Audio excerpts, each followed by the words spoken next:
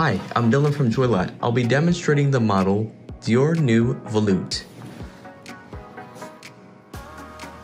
The color of the frames is gold and violet and the lenses are pink.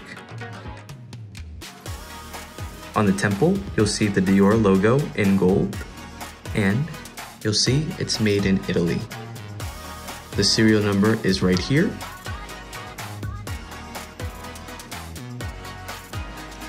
The colorway is S9EVC. The size for the lenses is 57, the bridge is 18, the temple is 145. It comes with a gift box, a leather case box, and a cleaning cloth. Thank you for watching and have a joyful day.